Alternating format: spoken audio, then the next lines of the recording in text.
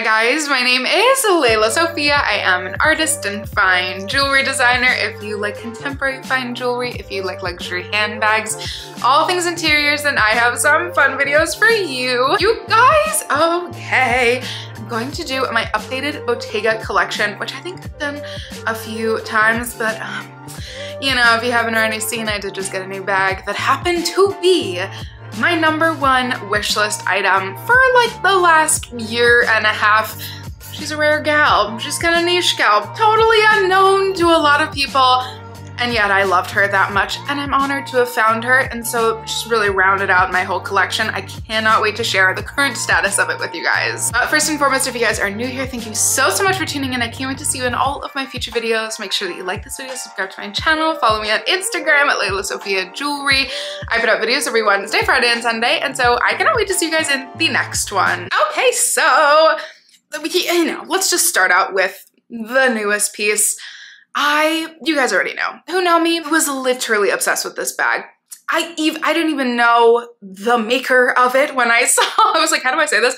I didn't even know that this was a Bottega bag when I first saw the ad for it because it was like a weird unbranded Pinterest photo and literally I then soon quickly realized that this was gonna be the winter 2023, maybe even late winter 2022 collection by Matthieu Blazy and yeah, it's it's safe to say I got pretty obsessed with it. I didn't find it in the perfect color combo when it first released, and long story long, apparently, I literally just got this a couple weeks ago, just unveiled it on my channel, and I've been loving her since. Is this gorgeous, gorgeous, dark forest green, I'd say, right? With this very Matthieu Blazy, like, you know, really Matthieu Blazy kind of deconstructed foulard leather. And then why I thought I'd start with this bag is because she's a bit of a um, trickster, let's say. This whole thing, yes, which sorry, I'm not even showing the entire thing. Yes, indeed is the bag. However, are we ready for a surprise? The bag itself is teeny tiny. It's teeny tiny. And so that's also why I kind of, you know, when I first figured that out after it released, I was like, okay, I can I can wait a little while and yet, even though it's so small, it's kind of shockingly small, I've still been loving it. I know people who have purchased this bag and are like, it's too small. What can you even fit in here? But I'm going to show you a few things that I kind of do to maneuver my way around here to still make it very useful. The saddest part, honestly, is that my mini pochette from Louis Vuitton, this is a vintage, really cool hand-painted trunks collection one, she does not fit in here. So you know what? That's okay. So I'm just going to take out like my very staple things. Ironically, like all of the contents fit, it's just that pouch itself is too big. I don't know how that works. But regardless, let's go ahead and pack this like I took this shopping with me one day. I took this out to dinner. So, you know, it's it's it's one of those your minimal vibe days, but you can still definitely hit the town with her. So kind of hidden, but there is a really cool, you know, half moon little zipper, very Bottega with that really cool gold tone zipper. It's honestly just a very, you know, simple, easy zipper closure, and it's, I think, easier than the mini Jodie. And then it's pretty teeny tiny. We have to totally, totally be honest, but when I tell you this leather, I think, I could be wrong, but I think it's the same leather as the inside as the outside, yes, it feels very similar. So it still is that foulard leather. It's buttery. It's gorgeous. Yes, she's tiny. But you know, like my whole hand fits in there. It's really the half moon shape that makes it a little challenging. That would be good. I wonder what this fits compared to the Half Moon bag by the Row. If anybody has that bag and can we could do a little virtual comparison, that's a really good idea because I'm always considering that one. But it's more spacious than you think. It's just a little awkward. So I'm gonna go ahead and put my card holder, which I'm, I'm that much of a New Yorker, okay? I've minimalized my life to just have a card holder, so that fits easily. We know my favorite lip combo, Gucci and Anastasia Beverly Hills, and then my favorite lotion from Le Labo. This is the Hinoki, which even though it's spring, we still need some lotion. That's easy. Still plenty of room, probably still even maybe more room than the 90s bag from the row. It's just a little awkward with the sides, but she's pretty roomy. And then I have found my two favorite lip serum slash balm slash treatments, whatever. We all know the Summer Fridays, but I got my hands somehow on the birthday cake one. And then this one is just on Amazon. I think it's called the Into You Lip Serum. It was $10. It's literally amazing. It's better than the Summer Fridays one. So those are gonna go right there. I said what I said. And then, you know, the biggest question is, is my phone going to fit? And, you know, I think with no stuff in it, I think it would be totally fine. But actually with a little bit of MacGyvering, I think this is all gonna fit, which, haha. She's definitely a lot heavier now, but there we go. I got all of that in here. So it fits the essentials, my version of essentials, and there's no pulling, no tugging. I think my theory is that the bag was made this small so that even if you load it up, it's not gonna overweigh the handles. And then because I've done so many in-depth videos on each one of these bags, I think, I'll go quite quickly, and I actually think quickly, not the Léla Sophia version of quickly, because we all know I can be long-winded as I am right now. This is my dear Bottega Veneta sardine bag in the medium size, aka with the two shoulder straps. Now there is the original size coming with the chain strap, which is a little bit longer. I love that one. However, I'm so glad I got the medium size. She's chunky, she's big. I've worn her for day to day, you know, everything. But I've also worn her more to like a meeting or something where I need to carry paperwork. I've worn her out, you know, to my parents to see them, to have a little bit more room to carry stuff if we're going out for an entire day. It's kind of perfection.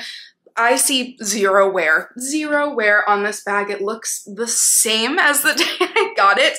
I love some of the new colors it's been coming in. Again, I do love the original size, but for me, this just, maybe it's like in comparison to my body, obviously I'm larger, I'm plus sized, it just looks really like appropriate on my shape and I'm fully obsessed. I, I can't believe that the sardine is like, didn't have the biggest moment that I thought it was going to have, but that's also okay. I think that she's, you know, she's a very eclectic gal, but I'm literally, this is, oh, I almost said this was my favorite bag. It's one of my top two favorite bags in my entire collection. And again, going in reverse order, so you guys have already seen all of these bags before, but this bag is one of the two that I'm possibly thinking of selling. So if anybody's interested, let me know.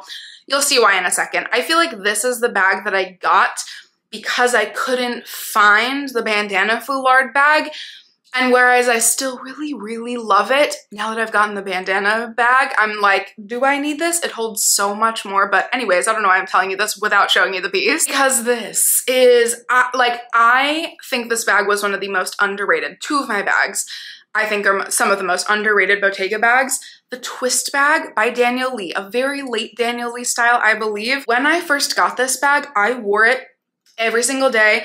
And again, like all of these Bottega bag styles, it has zero wear. Like it's insane. Even the handle where you hold the piece, you can either hold it like this or put it on your arm. It has like it's, as I'm looking at it, I'm like, what? It's insane. But the cool thing is that this entire thing is pocket and then for those of you guys who haven't seen me show this bag before, the zipper is on the bottom. So you flip it upside down kind of to put all of your stuff in it. And then you just flip it back and it's much less awkward than it kind of seems. It's such a vibe. Again, I wore it literally so much when I first got it. And I'm just not sure if I need the bandana foulard bag and this bag because they kind of give similar vibes, so you guys let me know. But regardless, she's so chic, and I also love the Intrecciato versions. And a lot of these are going for like extraordinarily low prices on the pre-loved market now. And then my, these are like the OGs, okay? I'm so sad that I didn't start my YouTube channel like six months sooner to a year and a half ago almost, but that was my heavy collecting Bottega era. And when I tell you, I know that this bag was overrated for like a hot second when it came out, Still, this is one of my favorite bags in my entire collection, full stop. It's so easy, it's chic, it goes with literally everything. The chain pouch, again, very staple Daniel Lee style. This is in the color Porridge, which is so me. Again, it's that like beigey, it's just neutral. It's definitely cool toned, but a very neutral, cool toned leaning bag. I think it's the chicest thing of all time. I have worn this, but this is definitely one of my most worn bags in my entire collection, especially come springtime. It's spring right now. I can't wait to start wearing this more because it's cool with a jacket because it has such a long shoulder drop. However, it's just a vibe with just an all black tank, you know, leggings, pants, whatever. It's just kind of such a vibe. Maybe it's just very New York of me, but for some reason. The color with the gold, the neutrality of it, yet the extraness of it. She's one of my favorite bags in my entire collection, if you can't tell. And the one that everybody knows. These next three, ooh, two out of the next three, my last three, everybody knows and loves. Okay, this is in the color Tapioca. This is the mini pouch. I have the whole crossbody strap kind of, you know, strung up inside but it's so cute as a pouch. Can we talk? Oh, I need to wear this bag today. I love this bag so much. It's so teeny. It fits my phone, yes, but kind of barely even that, but I still love it so much. I will probably never get rid of her. It's just so chic still, and it's one of those things that, yes, it was very, very popular when Daniel Lee was, you know, having his stardom phase, I'd say, but I see them out and about so many times in New York City, but it never looks overdone. Like, I don't know how to explain that. It's kind of so tasteful still. It, maybe because it's just like so innocuous. It's just so chic. It's just so cute. And it's just like, it wears so well. I I'm literally gonna wear this bag today. I love her so, so, so much. Again, the color is Tapioca on this one. Very slight difference, a little bit more yellowy to my previous one. I'm gonna spend very little time on these next two bags because when I tell you I've talked ad nauseum, and I know there's so many of you guys are new here, but I've talked about this bag so much and I've even made the boldest statement ever to say, I can't even believe I'm gonna repeat this because, but it's that true. If I were to just have one bag ever in my entire collection, honestly, I still think this would be a contender for that. This is the, I think, way underrated Bottega Veneta shoulder pouch specifically in the smaller size. There are two sizes. Do I need the larger size one day? Maybe, but again, at nauseum, I've talked about like just how chic this bag is. I'm just saying, as all these styles, there are, these are probably, these, the chain pouches are really well priced as well, but these are like the best priced on the pre-loved market. I got mine for, I swear to you, I got mine for just under a thousand dollars two and a half years ago, or no, exactly two years ago, I think. I love this bag, two pieces.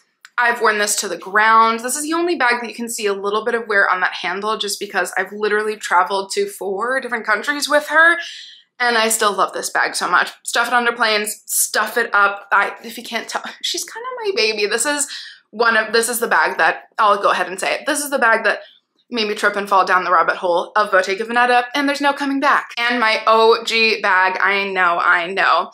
This is again one of the two, the only two that I'm thinking of selling.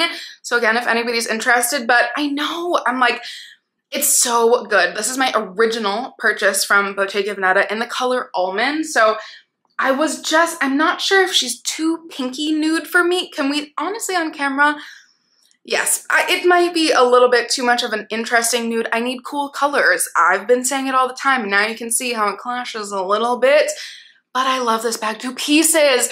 I would only sell this to get another. I kind of want an Intrecciato version, but what I really want is the Python version. We know and love this bag. If I were to find this in Python one day, again, shout out Noriana, who is one of my favorite YouTubers of all time. She just got this in Python and I said, yeah, I need the gray toned Python version of this, but that would be the only reason why I would let this one go is to get another because it's truly that good. She's the OG. I have to honor her. And you guys, that has been my updated Bottega Veneta collection.